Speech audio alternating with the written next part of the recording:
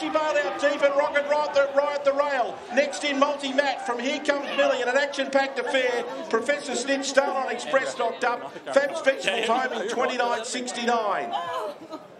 I tell you what, I don't know if I've ever seen you like this, Andrea Dailly. You've uh, the Dailly team has won Melbourne Cups before, and he's your main man, Fab's Vegetable. Tell us a little bit about him. He's managed to find his way into a Melbourne Cup for you. Oh, I, I don't even know what to say. I'm sorry. Well, I'll tell you what. He's just an absolute champion. He really is. You, have had some absolute champions compete in Melbourne Cups. My favourite race of all time, Fernando Bale versus Dyna Double One. I don't think we can use him in the same breath as that, but you can see that it means absolutely as just as much. World, absolutely means the world. The other most proudest moment was when um, Lucy's Milo ran in the Melbourne Cup three years ago. Like, yeah, they're just my boys. Oh, I'll let you go, Andrea. Well done. Go and give him a big cuddle. I tell you what, you can't say it doesn't mean anything to Team Dailly. Andrea Dailly, very, very animated, very, very happy. And how good is it to see a celebration like that going into the Melbourne Cup?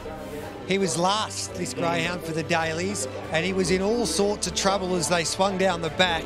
Um, but the Daillys, who have been legends of the game for so long, were able to win another heat of a Melbourne Cup, and they did it in spectacular fashion because you can't do that come from last, and that's what Fab's Vegetable did. And someone told me a good judge one, once upon a time, Jason Lincoln said, just put $100 or $10 on all of the Dailly runners and heats of the Melbourne Cup. You'd need a lot of money to start off with because generally they've got a few, but they haven't had as many tonight, and I, I think it's just so beautiful to see. I think a lot of uh, a lot of participants would be surprised to see uh, Andrea's response post that race. Andrea Dailly, they they've, they've a Melbourne Cup with Dyna Double One and Fernando Bale, so they've been there, they've done that, and it was just beautiful to see the, the sheer emotion of what making it through to a Melbourne Cup means, even for a trainer who's been there and done that. It, it was it was seriously beautiful to see, Mitchy. And you're a you're a, a, big fan of the team Dailly. oh yeah, I've actually uh, worked down there, Jim. So I've uh, very close. I've known them since I was about six. I was an absolute menace to both Tom and George when I was younger. I'll tell you. Nothing's changed. But, uh, no, nothing has changed, and I'll tell you, uh,